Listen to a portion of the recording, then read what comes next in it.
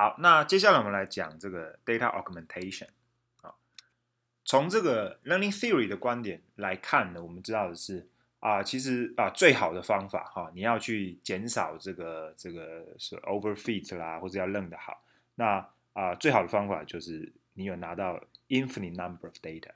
对不对？啊，你如果你如果有 infinite number of data 的话，那问题就解决了。那当然实物上不是这样嘛，因为其实你有 infinite number 你也圈不完，对不对？好。那不过从这个观点来看的话，就是说，如果今天对你的 problem 来讲呢，那个时间是可以接受的情况之下，或者你的 resource，比如像 memory 啊或 storage 啊，是可以接受的情况之下的话，那其实啊，你试着去 collect 更多的 data 啊，不见得是一件不好的事情。好，那当然有时候其实是一个非常有效的方法，好，去 improve 你的这个 model 的 generalizability。在某些 application 来讲的话，其实呃呃，比如说，如果你今天是一个 online 的这个这个 service 的话，可能 collect data 其实啊成本还蛮低的这样子。好，那这个时候就就可以不断的去 collect data。那你可以用 online learning 的方法，那渐渐渐的去把这个新进来的 data 加进来。好，那你的 model 就可能会啊啊不断的 improve，对不对？好。那但是如果万一你如果没有 data 怎么办？你就是说我 data 我就是从从网络上 download 下来，就就就这么多啊，好，那怎么办呢？那啊其实也没关系，好，那有时候你还可以 create fake fake data 啊，你如果办法没有办法 collect real new data 的话，那你就 create fake new data 这样子，好，那啊怎么 create fake new data 呢？那基本上概念也蛮简单的，就是说呃啊你就是试着如果今天比如说了哈，比如说如果今天是在 classification 的话，好，那如果你今天针对每一个这个这个 x 跟 y 的这个 example pair 啊，那你就可以固定 y 啊，但是去把这个 x 呢稍微做一点变动，好，那你就可以得到很多新的 pair 啊，那这些 pair 的 y 是一样的啊，但是对 x 来讲呢，好有一点点啊不大一样这样子，好，那在某些 application 来讲呢，做这件事其实是是很简单哈，比如说如果你今天是啊这个 x 是 image 的话。那你要做的，比如说是手写字体辨识，那你会发现说，手写字辨识的话，你的 image 就是一个手写字体嘛，对不对？啊，那所以呢，你稍微把它做一点点这个 scaling 啊，做一点点 translation，好，比如说一二三四五六七八九九往上移一点，往下移一点，好，那稍微做个 ro rotating，好，或是甚至是 flipping，好，比如说有时候这个 image 如果是要辨识人脸的话，那你你你你把它 flip 起来，那还是人脸吧，OK，好，那像这个时候你就可以。啊，直接把这个 x 呢做以下这种 transformation，好，那你就可以打一个 example，你就可以得到很多新的这个啊 new example pair，OK，好，那拿去 train，那通常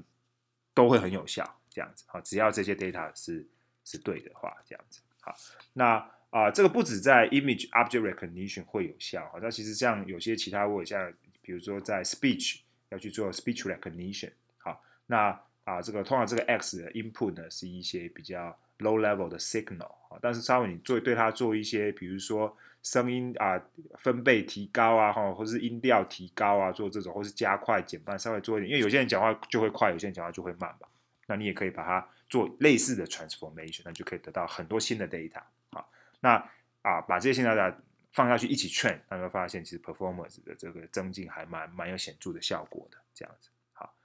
好，那。啊，甚至在很多 library 里面，好，比如说像 Keras，那呃，这个这个它其实甚至会内建好这个这个这个 data generator 给你，好，就是你就是跟他讲说你要用什么 data generator，那你放进来，它就会就会 output 一些啊，这个有被 scale 过的这些这些 example，好，那就可以不断的去 generate 这些 fake data，啊，去 train 你的这个这个 model，OK，好，那，不过这边要很注意一下，就是说。哎，这边有个 pitfall 哈，就是说，因为这个的这个有时候太方便了哈，所以哎，其实你就直接用了那个 generator 哈，可是就忘记了，就是说，其实啊，这一个啊 transformation 哈是不可以随便乱做的哈，就是说啊，在某些 application 是是要小心的啦，啊，应该是这样讲，就是说，你你至少要把握原则是，你不能 transform 一个 x 哈，使得它的正确的 y。因此改变。好，举个例子来讲好了，比如说你如果要做这个这个 OCR，好，OCR 就是就是就是从 image 里面去 recognize 出字出来。好，那这个时候，如果这个 library default 会帮你 flip 的话，那你就把它关掉，懂我意思？不然你就分辨不出 B 跟 D 了，啊，因为它它你变成你这个 fake data 就会告诉你说 B 跟 D 是同一个 label，因为你 label 不变嘛，懂我意思吗？好，那你也没有办法做一百八十度的 rotation OK，好，你可能大概做一个在九十度以内还 make sense，这样，可是，一百八十度之后，可能六跟九大概就就就就分不出来了，这样子。好，所以这个地方可能要小心一下。好，那除此之外的话，其实在 data augmentation 其实通常都是啊，还蛮有效的这个这个一个方法这样子。好，那啊有一个有一个很有趣的的一个观察哈，就是说其实你不不见得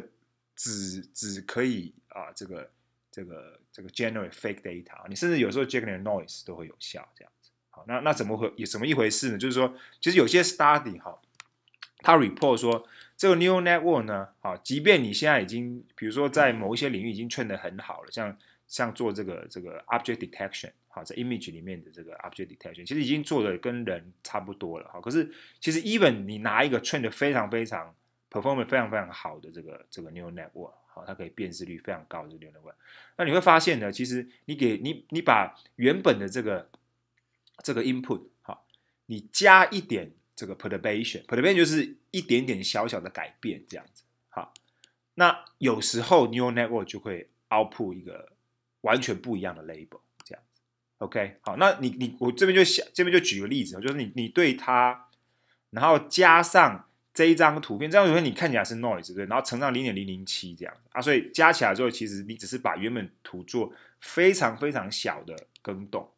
好非常非常小的更动，那其实人在看的时候，你会发现这两张图片根本是一样啊。可是对 neural 它可能就会把它 predict 成不一样。比如说，你看下面，它原本有这个 confidence 五十七点七的这个 confidence predict 是判打这样，它现在就变得不要变成是是是这个这个 given 不知道什么东西啊，而且 confidence 是九十九点三这样子。好，那啊，基本上这个就就告诉你说，其实 neural network 它运作的方式跟人还是有一段差距的这样。好，那。这边还有另外一个很有趣的 study 是说，哎，这是这是这是 Ian Goodfellow 啊做的哈，就是说啊，你甚至有时候这个这个东西不见得是要是是 noise，OK，好，你可以是所谓的这个 adversarial point。什么是 adversarial point？基本上是这样，然后他故意就是说我如果知道你的 model，好，比如说我知道你的这个 parameter 是什么，OK，好，那我就 follow 你的 model，好，这个这个 J 指的就是我们我们常用的那个 C 啦。啊，就是就是负 c 的意思，J 通常指的是 objective，那 c 的话是这个这个 cost，对不对？好，那 objective 是越高越好，J 是越低越好。那如果用 J 就是，哎，通常就表示是是是 objective 这样子。好，那 anyway 你就把它当成是 c 这样。好，那假设我知道你的 c，然后我知道你整个 c 的这个 formulation 是什么，那我可以对这个 c，然后对 x 去做偏尾，对不对？好，那这个偏尾的 gradient 是什么呢？啊，其实就是说，沿如如果 x 要沿着哪个方向动，才会让我的 cost 最高，对不对？增高增高的最高嘛，对不对？好，好，所以如果我 follow 这些 direction，好，然后去 generate 出这个这个 x OK，这可以做的，这这是可以做得到的嘛，对不对？因为你已经知道这个这个这个规律，所以你就 start from 零。好，然后加上这样子的规点，OK，好，然后这个东西呢，你只要乘一个非常非常小的值，好，那就是像这个 example，好，那你就可以骗过这个 neural network 这样，OK，好，所以这个告诉我们的就是说，其实这个 neural network 其实并不会非常的 robust，好，这什么是 robust？我们说一个 machine learning model 它很 robust 的话呢，代表的是你的这个 input x 变得不多。那你的 output 呢也不会变太多，或者你的你的这个 correctness 呢也不会变太多。OK，好，那我们称这叫做一个 robust model。那这个这个 neural network 很明显其实不大 robust，对不对？好，所以有没有一些方法我们可以让这个 neural network 变得比较 robust 一点呢？好，那啊，如果 follow 刚刚的这个概念，就是我可以 in inject 这个这个 fake data，对不对？好，那那这个 fake data 可能是 domain specific。那如果是这样子的话，我要做这个 noise robustness 啊，或者是 adversarial point 的这个 robustness，那我可不可以 inject 这个 noise data？OK，当然是可以的，对不对？好，你想想看就知道，就是说，反正我可以 inject 东西嘛，只是 train 得出来，train 不出来而已嘛。好，那我就 inject。所以我在 train 这个 x 的时候呢，好，我我稍微把它更改，好，就是我每次在 train 它的时候，我对它做一点点的这个 random distortion，啊，就比方说加一些小小小量的这个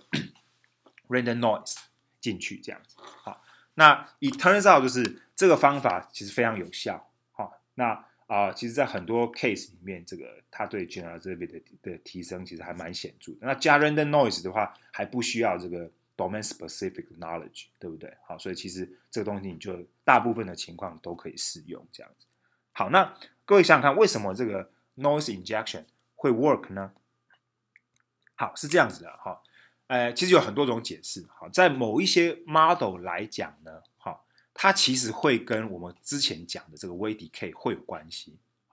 我举个例子来讲，比如说我们来看一下这个 right regression，好不好？好，这个 right regression 我们知道它的 close form solution 可以写成这个样子，对不对？好，这我们之前讲过了。好，好，这个 close form solution 你仔细看一下哈，其实这个 inverse term 呢，好，这个 alpha 就是那个 right regression 的那个那个 hyperparameter。好，那这个 alpha 呢，后面这个是一个 identity，对不对？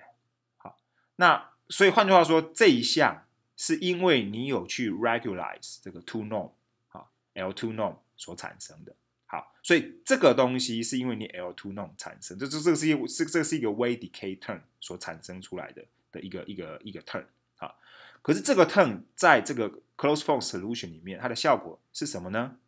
其实就是把 x 的这个 variance 的这个 matrix covariance 这个 matrix 加上在没有就加上一个。圆圆的 noise，对不对？